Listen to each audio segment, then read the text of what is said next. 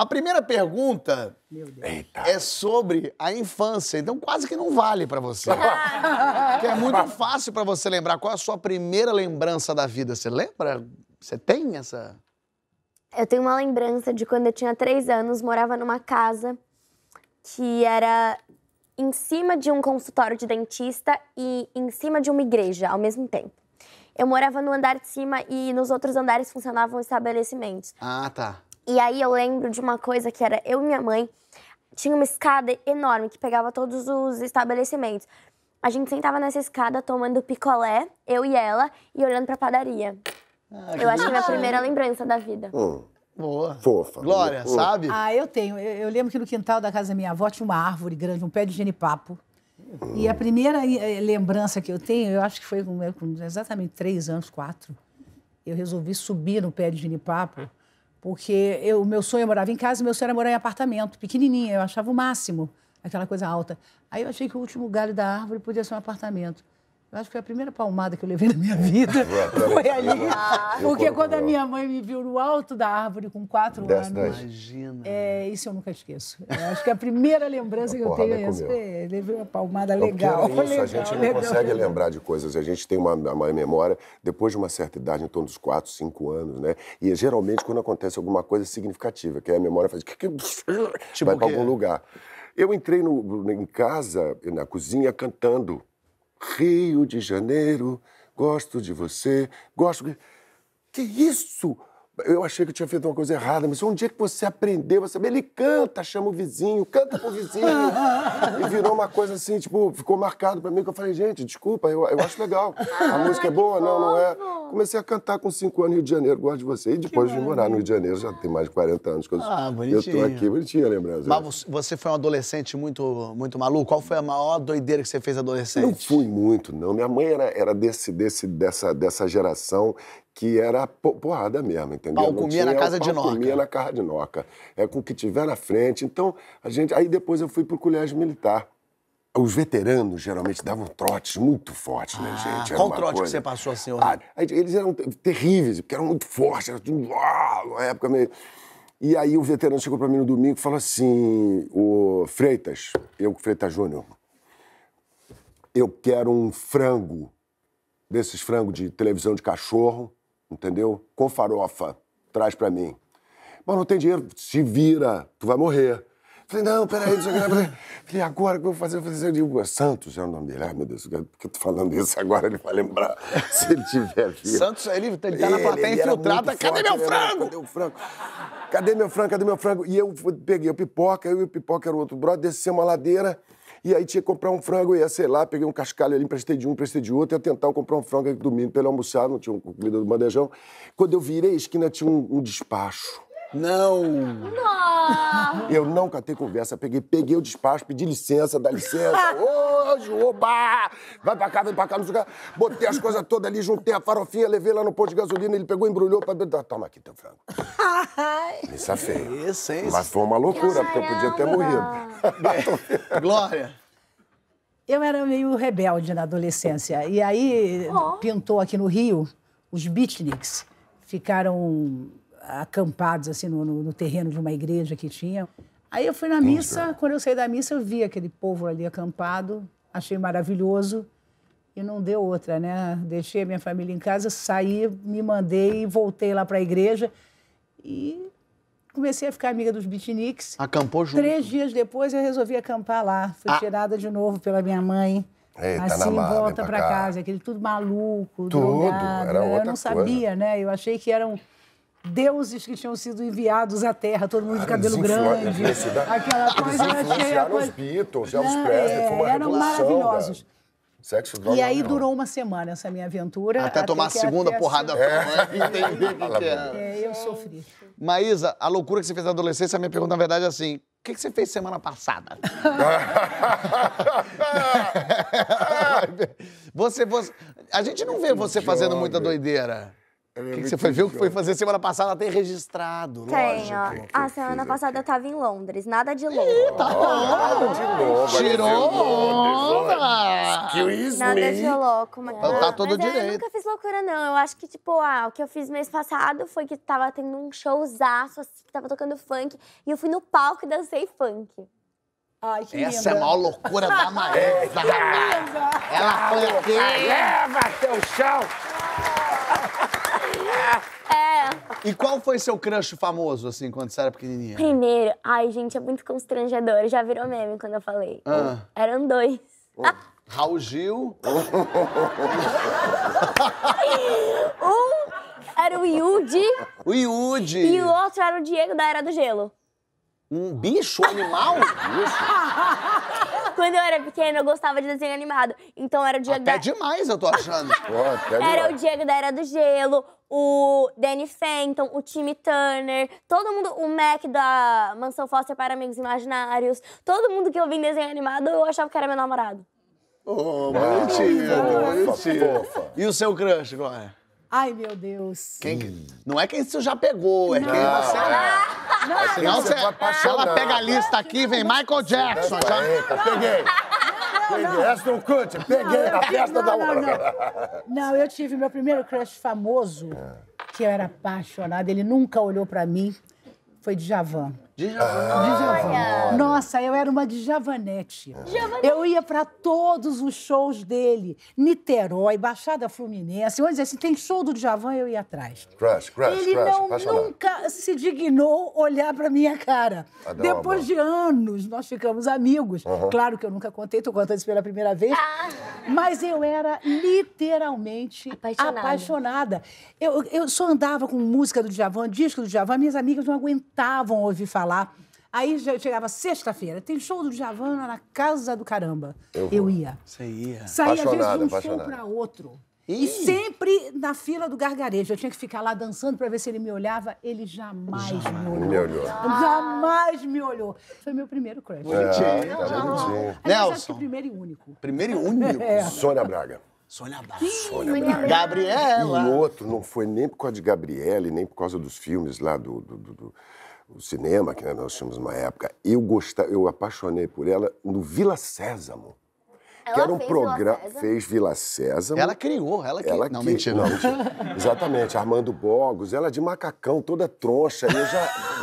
Ah, você eu- gostou ela, do- do- é, gostei, do tchutchucão. Ela era uma loucura, Ela né? Porque era. ela é um. E até hoje, eu encontro com ela, ainda fico. Oi, hein? Esse crush brasileiro, assim, né? Era uma coisa que é possível. Você pode encontrar com a pessoa na vida. encontra né? só, mas Como é só que você imagina? Só encontra. Só encontra. Infelizmente, só Qual encontra. evento histórico vocês gostariam de ter presenciado? Qualquer um. Eu acho que. Muro de Berlim. Muro de A Berlim. queda do muro de Berlim, para mim, foi tive agora há pouco, há pouco tempo agora em Berlim. Não conhecia a cidade, fiquei passado a ferro Black and Decker. Porque foi uma manifestação que não teve um tipo de agressão. As pessoas que não teve um disparo, não teve uma gota de sangue, nada. Eles começaram e tanta gente que acabou participando disso, dizendo o que está acontecendo, não sei o que está acontecendo. Caiu o muro.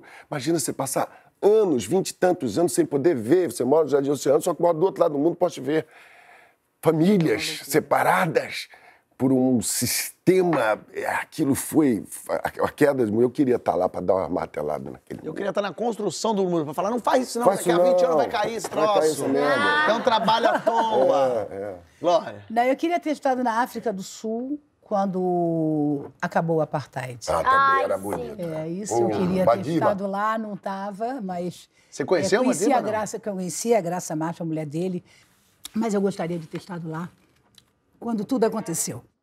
Evento histórico. A Dois. construção do SBT. o nascimento de Silvio Santos. Não? Um quando é, permitiram o voto feminino. Legal. E o outro quando meus pais se casaram. Você queria estar lá. Você sabe que eu estava no dia do casamento dos meus pais. Ah, que eu já é era legal. nascido. Ah, que fofo! Eu, eu não lembro exatamente, eu lembro, vendo foto, eu, eu não sei se eu lembro ou se eu lembro de foto. Mas minha mãe me conta uma história bonitinha, porque daí meus pais casaram, eu já era nascido. Você tinha quantos anos? é, três, quatro, cinco. Ah. E aí eu sei que quando minha madrinha foi casar, ela não tinha filho. E ela casou, e eu falei, e aí minha mãe falou: Ah, tia Marina vai casar. Eu falei, ah, vai casar como? Não tem nem filho. Na minha cabeça tinha que ter filho pra casar, pra lógico. Casar, é, claro. É. Legal. E que profissão você não levaria a jeito? Médico, ah, socorrista. Médico também. Qualquer coisa de. tem que lidar com pessoas de sangue. Sei. Eu acho que eu também não seria médica, não, de jeito nenhum. É porque que médico está sempre nessa voga de coisas terríveis, né? É, eu não seria. Porque é difícil isso mesmo. Também não seria comandante, também não seria piloto de avião. Também Pronto, agora você falou uma coisa legal. Tem três profissões. Tá o programa todo falando uma coisa legal, não, falou agora. Legal. Agora você falou. Olha, agora você. Agora... Não, porque foi muito engraçado, porque era uma coisa que eu estava pensando agora, quando começamos a falar sobre isso. Tem três profissões, pelo menos, que são assim, de uma, de uma, de um, de um, de muita accuracy, como é que... Precisão. De apuro. De muita precisão, de muita baixeza, onde tem que ser muita responsabilidade. Exato. Primeiro, essa coisa de ser piloto de avião. Você uhum. pegar, levantar uma, uma, uma, lapa de ferro daquela, com quilômetros de cabo e coisa eletrônica, cheio de gente dentro, não só levantar e botar no chão de volta. Pois Beleza, senhora, senhor? Satisfação. E outra, goleiro. Quem que vai ser? Não, quer ser goleiro! Eu quero ser goleiro, ninguém. São dois, é raro. No meio porque de... ele é o último homem, ele é só visto quando ele consegue agarrar uma, uma, uma, desgraça de um pênalti, que é loteria. Ele se machuca o tempo todo. O goleiro é uma profissão para acabar mais. E outra que é, por exemplo, um neurocirurgião que abre a tampa da cabeça. E diz assim: pega aquela massa cinzenta, eu digo, vou cortar aqui, vou cortar aqui, porque se eu cortar assim, um centímetro para cá, já. É complicado, velho. É. Complicado. Tem que ser. São profissões. Então, essa não, de médico eu acho também não dá cirurgião médico e piloto, é. zero chance. Então, você não queria ser médico, mas quem você gostaria de ser por um dia hoje? Ah, eu queria por um dia ser o Obama. Ser? Legal. Oh, ah, eu queria por um dia só. Obama é muito chique, né? Maneiro, hein? É lindo, é chique, poderoso. Nossa, um dia só de Obama, tá. a minha vida estava zerada. Maísa. Eu tava lá recentemente, né? Então eu queria ser a Rainha Elizabeth por um dia para saber como é ser uma rainha. e, tipo, uma rainha que é rainha há muito tempo e continua sendo rainha. E eu fiquei sabendo que tem um hospital dentro da casa dela. Do palácio. Ah. Tipo. Deve ter o que ela quiser dentro da casa dela. O que ela dela. quiser. E já pensou? Será que ela já percorreu todo o palácio? Ah, com certeza sim. Ela é, ela é, ela é atrevida. Ela é atrevida. Ela, ela, é sacudida, meu amor. Mas será que ela, não tem nem um cantinho, dirige. assim, uma dobrinha que ela nunca encostou? Assim, tipo... Acho difícil, acho difícil. Caramba, acho porque difícil. aquilo é, aquilo é gigante. Eu queria ser a Rainha Elizabeth. Legal. Buckingham. Excuse Dá um rolê por Buckingham, exatamente. É. Quer escolher outra pessoa? Se vamos colocar nesses termos, eu acho que o Chico Anísio por um dia seria... Hum, só para beber um pouco daquela cabeça que falava de tudo, qualquer papo, por mais banal que fosse, se tornava uma aula de vida. Verdade. É um grande mestre, um grande querido. Era para ser alguém hoje, mas eu vou te perdoar que o Chico Anísio pode ser. Porque Chico Anísio ah, não... tipo agora alguém vivo? Te falaram, né? Porque ele não tá aqui. Mas... É, não, eu sei. não, mas, não, é, eu achei que tinha... Pode. pode, tá valendo? Lógico que pode. Chico Anísio, o que ele quiser. Tá vivo. Jorge Clooney... Jorge Clooney é legal. Mas como é que você quer que o mundo acabe? Ah, Deus... Pô, o mundo vai acabar, né, cara? Isso aqui não, não tá indo no caminho bom, não, né? É. Isso aqui não, não tá dando certo, não. Mas sei lá, pô, a gente Mas não quer nada de ruim, a gente queria que fosse uma coisa rápida, Rápido, susto, né? bala, vício, como diz a, o poeta, né? Mas uma, sei lá, a gente, a gente fica pensando assim, ah, vai acabar num fogo, não é?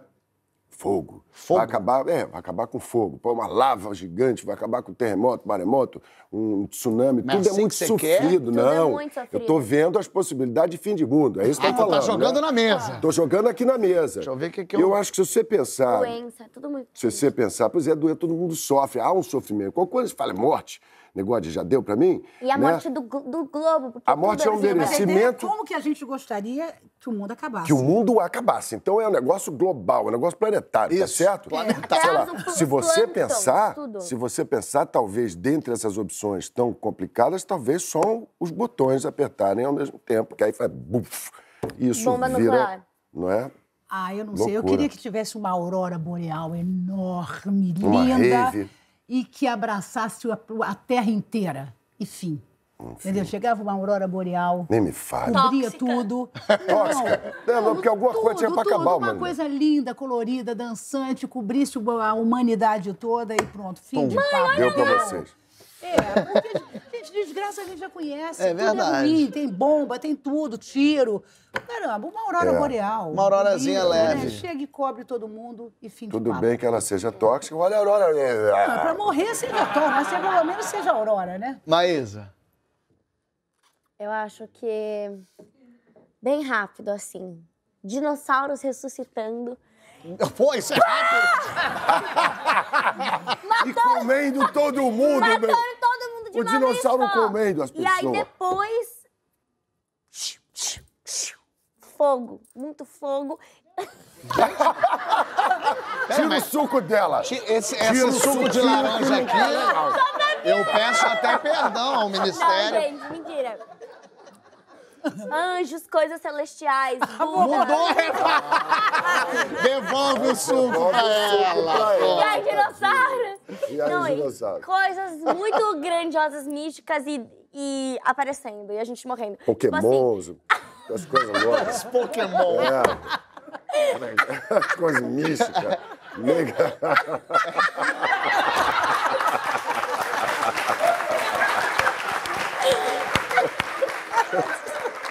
Olha, Pokémon.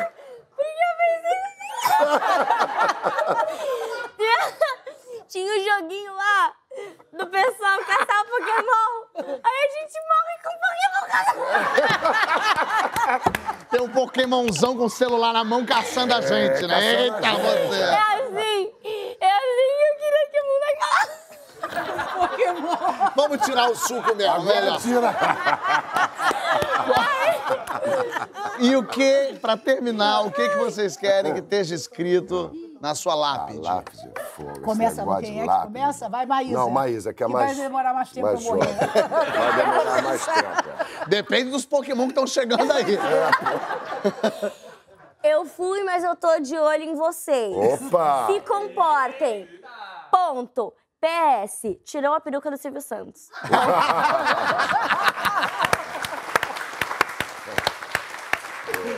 Maravilhoso. Nelson? Ah, bicho, essa pergunta é muito complicada, né? Porque. Sei lá, o que, que você vai falar? Você vai... Daqui a pouco a gente volta, né, mano? Plim, plim. Plim, plim. é, e, e- e- essa coisa, né? Se eu fiz alguém rir, valeu pra mim. Tá bonito. Tá bonito, Ai, tá lindo. bonito. Glória Maria. Bom, eu não gosto do papo de morte, né? Mas já que é, né? Vamos lá. Eu botaria assim. Primeiro que não vai ter aquela de, de- do ano tal ao ano tal que vem na lápide. Isso aí fora. Não queremos Nasceu, data. nasceu tanto e morreu tanto. Nem pensar. dos Só o dia. Da vida, Aí não. eu só ia botar assim, é, Neva. a mulher que morreu sem idade. A mulher com idade. Gostei, gostei. Porque ninguém jamais. Ninguém já. Só o RH da Globo. Não sabe porque Não. pegou fogo anos atrás, não tem mais nada. Não tem mais Aham. registro. E Pronto, agora sim. E o, não, o Google não sabe de nada. Google não tudo sabe mentira. nada. O Ela Google comprou é o Google, você Não, acha? o Pode Google- botar, ela comprou. Querido, o Google diz que eu sou do interior de uma cidade da Bahia. Eu sou carioca de Vila Isabel. Olha isso. Vamos combinar? Então, peraí. É. Sabe nada, inocente. Agora, ah, você sabe que pegou fogo na quando pegou fogo Sim, pegou fogo lá no Pegou Jardim fogo Botânico, em é. tudo, não tem mais nada, eu Os nunca, devo, nunca trouxe nada de volta. Então, Então, pronto. zero à Ninguém esquerda. sabe, é isso. Incógnita, É zero à esquerda. Quero agradecer muito a presença de vocês. Obrigado, de verdade. Muito bom ouvir vocês falando. E Só povo de- maluco, né?